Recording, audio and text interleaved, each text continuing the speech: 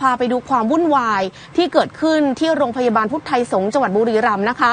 มีคนไข้เป็นผู้ชาย อยู่ในลักษณะอาการเมาค่ะ แล้วก็เข้ามาอารวาสทำลายทรัพย์สินของทางโรงพยาบาลได้รับความเสียหาย มูลค่าความเสียหายในครั้งนี้อยู่ประมาณหลายหมื่นบาทเลยนะคะ ให้คุณผู้ชมไปดูคลิปต้นเรื่องกันก่อนเลยค่ะ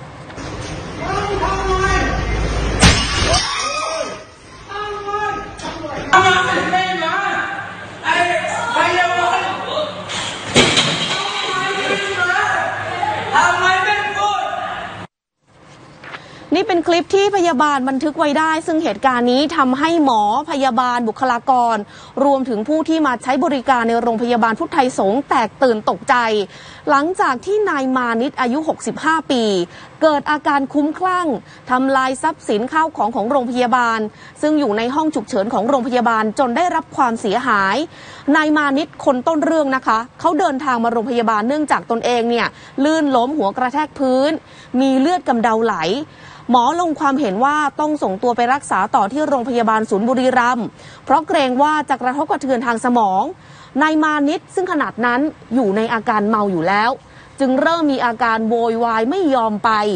พร้อมกับใช้กำปั้นทุบกระจกหน้าห้องฉุกเฉินจนแตก แล้วก็ทุบเครื่องวัดความดันอัตโนมัติทำให้อุปกรณ์ทางการแพทย์เสียหาย ซึ่งก็บอกว่ามีการประเมินมูลค่าอยู่ที่ 75,000 บาท ส่วนกระจกยังอยู่ระหว่างการประเมินราคานะคะ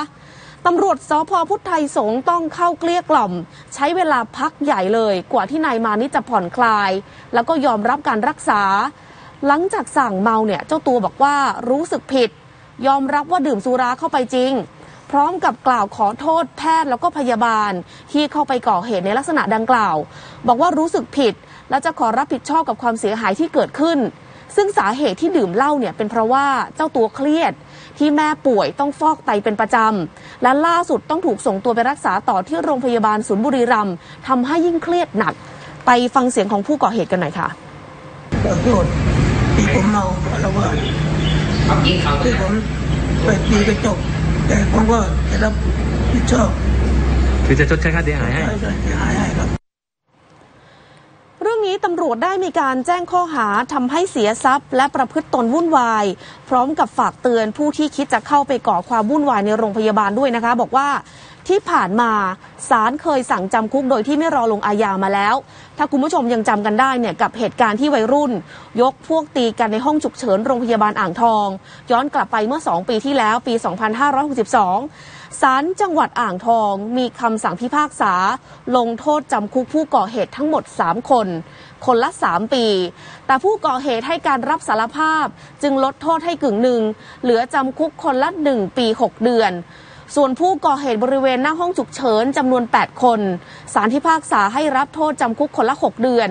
ผู้ก่อเหตุให้การรับสารภาพ จึงลดโทษให้กึ่งหนึ่งเหลือจำคุกคนละ 3 เดือน นี่คือภาพเหตุการณ์ที่เกิดขึ้นในโรงพยาบาลอ่างทองในปี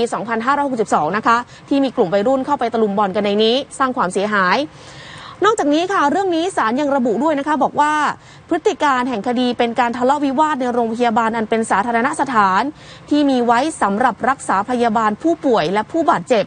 ไม่ควรที่ผู้ใดจะล่วงละเมิด เข้าไปทำลายความสงบเรียบร้อย